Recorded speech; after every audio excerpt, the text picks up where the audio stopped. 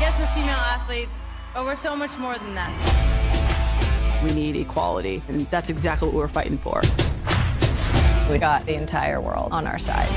If they win, no one wins. If we win, everyone wins. Let's fucking go!